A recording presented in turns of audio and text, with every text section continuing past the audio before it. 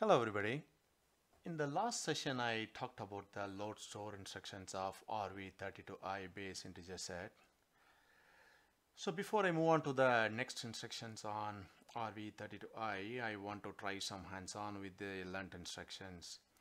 So the best way for me to learn about any processes assembly is to is by hands-on.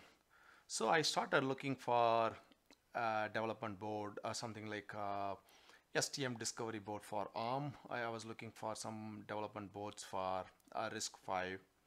So then I came across this uh, SiFive company. So in, many forums and through search, I came across this company. And this company works uh, mainly on uh, RISC-V. Okay. And uh, the so the couple of other things about this company is that a couple of co-founders on this company are also the main people behind uh, RISC-V standardization as well. So I browsed uh, this for a couple of boards. So I see they have a variety of boards, but uh, this is the one which I have ordered. So Hi-Fi 1 B is the one which I have ordered, but I haven't uh, received it yet. But uh, I don't have to wait until I get the board because uh, SiFive has a dev tool called Freedom Studio. If you go to the product software and you can see that here, okay, you can download for your platform. So I have uh, Windows, so I have already installed this uh, Freedom Studio. So the, the most interesting thing about this Freedom Studio is that it has the support for a emulator of our couple of, especially for my board, for they have the emulator support for this board.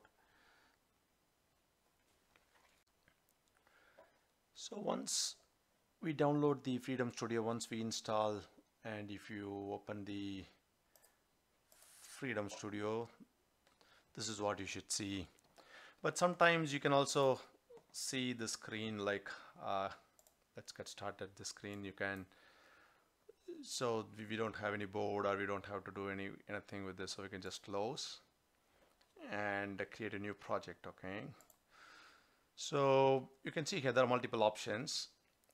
And if you want to know more about this freedom studio they have an uh, amazing user manual. So for example so this is the freedom studio user manual okay it, it it's a very elaborate manual how to set up your freedom studio and how to open the project and it, it even covers different perspective like so it's, it's, it's very elaborative. So for the first time if you need any help you can download this uh, user manual and you are ready to go. But I have already gone through this.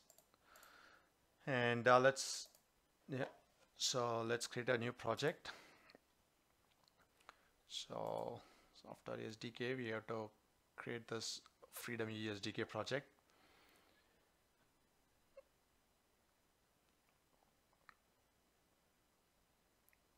Okay let me squeeze this. Okay. Here yeah it's already in quick emulator and you can see here so they have the support for most of their boards but this is the one which I have ordered so I'm just gonna try the same for emulation as well. And it, it comes with uh, several uh, built-in sample code and sample applications so I'm just gonna start with the hello world. And later I can add my own code on top of this.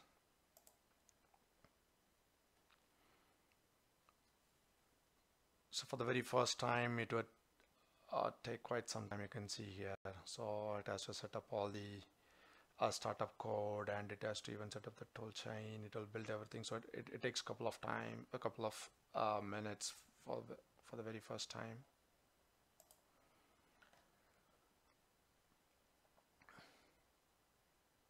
You can see here it is setting up the okay. So this is the quick launch window. All you have to do is just press. So it launches the debugger but I'll just stop this for now and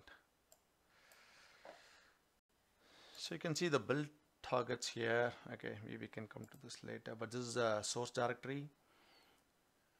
Debug and this is a source code. It has this is the what do you say? The um, boilerplate code you can start with. I'm just gonna build run and see if uh, if the hello world works well. Okay great. So hello world works well. Now we are ready to go. Now let's see how we can add uh, assembly instructions to this hello world project okay I'm just gonna create a new file for assembly instructions and I'm just gonna call it as assembly.s please remember this is an uppercase yes so that it gets passed to the assembler. Okay let me just write the skeleton first. So these are GNU assembler directives so you can if you don't know you can search in internet for GNU assembler. I'm just gonna create uh,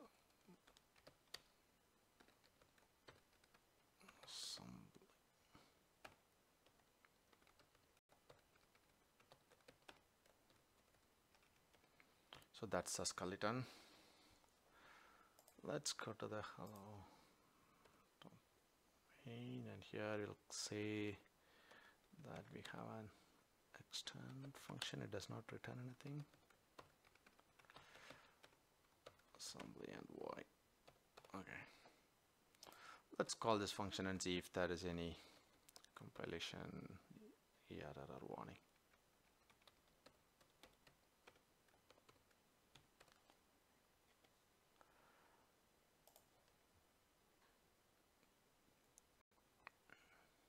okay great.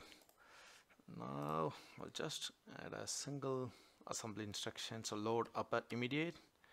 So if you haven't seen the load store instructions I recommend you to watch the video. So I'm just gonna use x2 here. Okay x2 register and load a 20 bit value.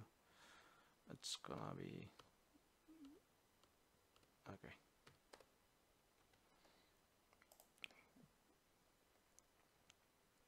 Now if you want to check the register values then we'll get in, we should get into the debug mode go to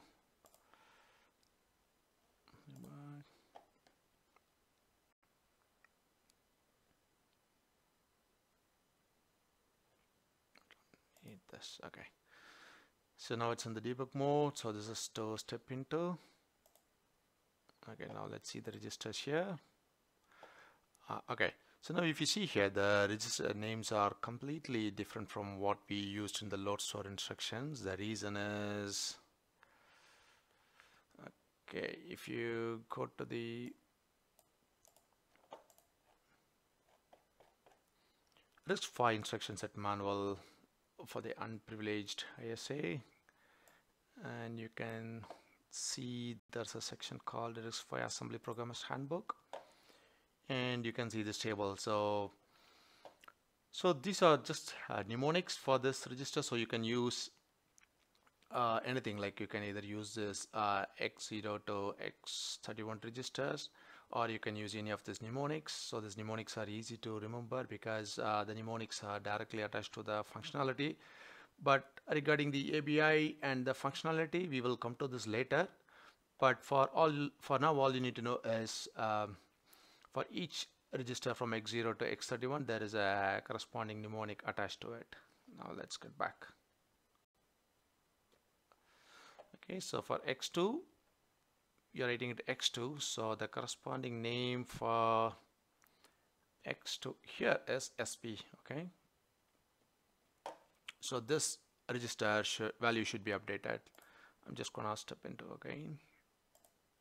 Okay here you go so the value is updated here and one more time if I step into it come, comes back to the uh, main function now we are ready to explore all other load store instructions So in the next video, I will cover all the load store instructions, whatever we learned.